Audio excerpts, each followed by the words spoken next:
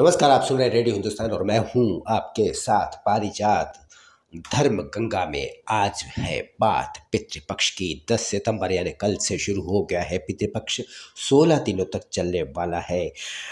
बिल्कुल बताने की ज़रूरत नहीं, आप सभी जानते हैं कि पितृपक्ष के दौरान आपके पितर, यानी कि आपके पूर्वज आपके घर पधारते हैं और आपसे जलदान, पिंडदान, तर्पण और श्राद्ध की अपेक्षा करते हैं। जो भी आपको करना है, करणीय है, जो आपको बनता है, जो आप कर सकते हैं, अवश्य कीजिए, क्योंकि इससे आपके परिवार की प्रगति गतिमान होगी। और चूँकि आप उनको देख नहीं पाते, पर हर श्राद्ध पक्ष में आपके पितर आपके दरवाजे पर आपके घर आते हैं।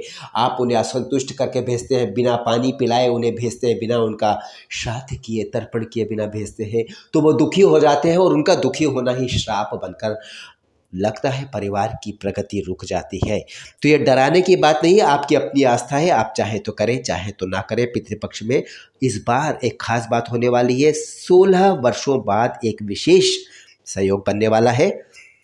आपको जानना चाहिए कि किस दिन किसका श्राद्ध होगा, ये भी बहुत महत्वपूर्ण है आपके लिए। पितृपक्ष के दौरान हम लोग पितरों का पक्ष श्राद्ध और तर्पण करते हैं।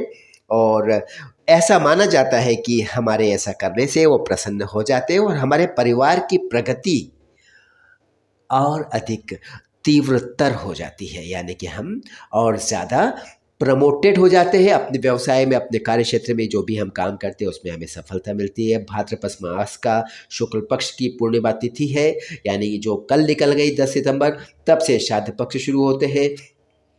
छब, पच्चीस सितंबर तक श्राद्ध पक्ष चलेंगे रविवार है पच्चीस सितंबर को, इसके बाद, लेकिन इस बार बहुत खास होने वाला है पितृपक्ष। क्यों? क्योंकि इस बार पितृपक्ष पंद्रह दिन के बजाय सोलह दिन का होने वाला है। हमेशा पंद्रह दिन का होता है विशेष सहयोग कई वर्षों के बाद बना है। ज्योतिष के अनुसार ऐसा सहयोग सोलह दिन बाद, सोलह साल बाद आया है। इसलिए इसको सोलह श्राद्ध भी कहते हैं। जैसे सोलह सोमवार वाली बात कही जाती है ना, उसी तरह से सोलह श्राद्ध भी इनको कहते हैं। सोलह दिन के श्राद्ध, सोलह श्राद्ध। पच्चीस सितंबर से सर्वपित्री अमावस्या के साथ ही पितृपक्ष पूर्ण होंगे, समाप्त होंगे इस वर्ष के। पितृपक्ष के दौरान हम पितरों का श्राद्ध करते हैं, उनका तर्पण करते हैं। और पितरों का श्राद्ध करने से वो बहुत प्रसन्न होकर हमें आशीर्वाद देते हैं आशीर्वाद से हमारे परिवार की सुख समृद्धि बढ़ती है।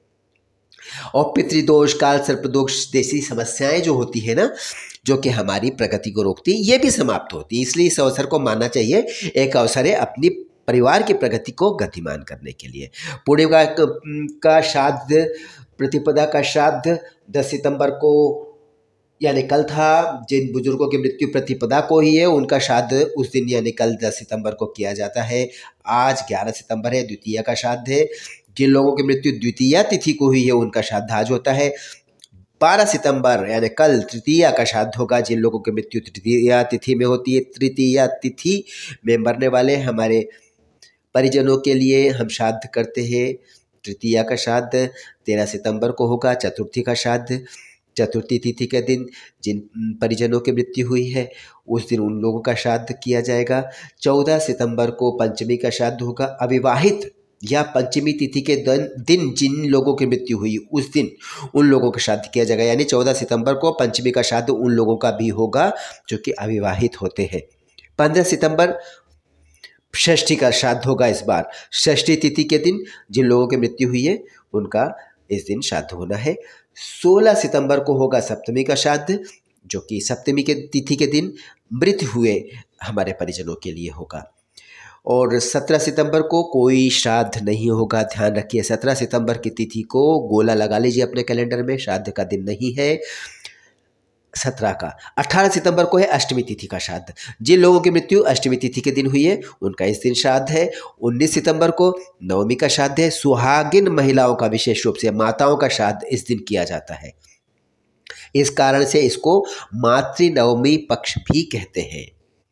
20 सितंबर दशमी का श्राद्ध है। दशमी तिथि के दिन जिन परिजनों ने दुनिया को अलविदा कहा था, उनका श्राद्ध इस दिन होना है।